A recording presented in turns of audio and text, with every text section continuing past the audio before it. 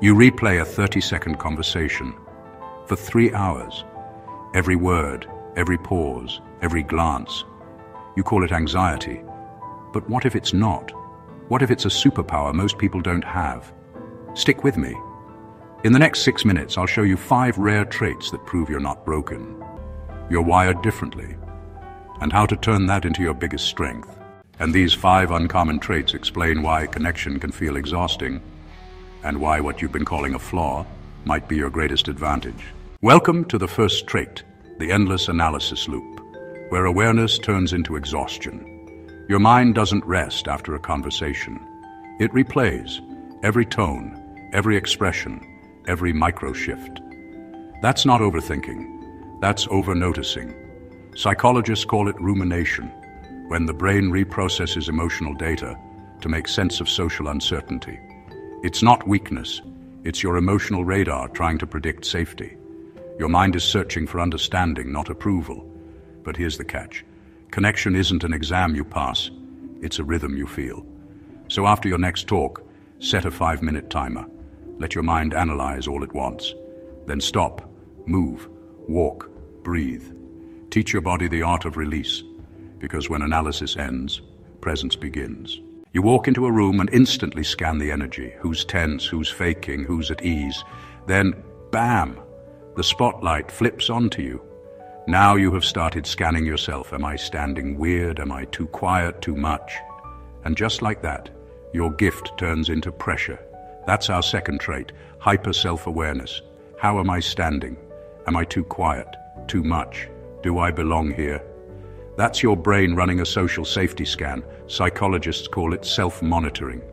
It evolved to protect you from rejection. But when it stays switched on, it drains your authenticity. Here's the truth. No one's watching you as closely as you think. They're too busy replaying their own highlight reel of self-doubt. So before your next interaction, whisper this to yourself. I'm speaking to someone who already accepts me. Watch how your shoulders drop, your tone softens, your words start to flow. Because connection never begins with perfection. It begins with permission. Trait three, low tolerance for inauthenticity. You can spot fake smiles instantly. You feel when someone's being polite but not honest. That's not judgment, it's perception. Your mirror neurons, the empathy circuits in your brain, are tuned higher than most. They pick up emotional static other people can't even sense. That's why lies feel loud to you, even when no one says a word. But not every moment needs to be profound. Small talk isn't empty, it's the bridge to truth. Surface conversation isn't the enemy of depth, it's the doorway to it. So when the moment feels shallow, remember, depth doesn't disappear, it just takes time to surface. Let others warm up.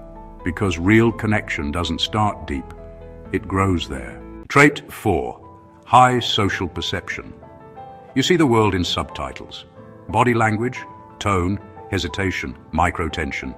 You read emotion in HD. That's empathy turned all the way up. A gift, but a draining one. Because when you see everything, you start to absorb everything. Neuroscientists call it emotional contagion your nervous system syncing with the energy of others. It's how compassion feels like weight, but empathy without boundaries becomes exhaustion. And you can't heal what you're drowning in. You can understand a storm without standing in the rain. Boundaries don't make you cold. They make your kindness sustainable.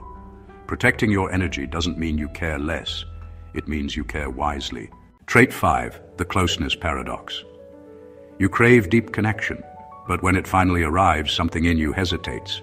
You want to be seen, yet when someone truly sees you, you start to pull back. That's not confusion, it's protection. It's your nervous system mixing up vulnerability with danger. Your mind thinks openness is exposure, when it's actually the beginning of safety. But connection doesn't bloom under control, it blooms under trust. So let imperfection exist. Let silence speak. Let people see you unedited. Because you don't earn belonging, you allow it. The right people won't need you to perform, they'll just need you to be. The thread that ties it all together. Every one of these traits, the analysis, the awareness, the depth, comes from one source, heightened perception. You notice what others miss.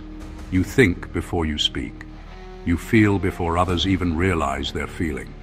And that awareness can isolate you if you resist it, but it can guide you if you own it. The same mind that overthinks can sense truth faster than words.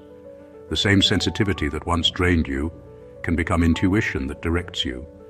And the same solitude you feared can become the silence that strengthens you. You were never too much. You were just tuned sharper, deeper, more alive. And that's exactly what this world needs. Minds that see deeper, hearts that care harder, souls that move quieter, but impact louder. So stop shrinking to fit. Stand as you are, thoughtful, aware, rare, because those who are meant for you will feel your energy instantly, and they'll stay. Your awareness isn't a weakness, it's your frequency. Own it, live it, lead with it. Because the world doesn't need more noise, it needs truth in human form.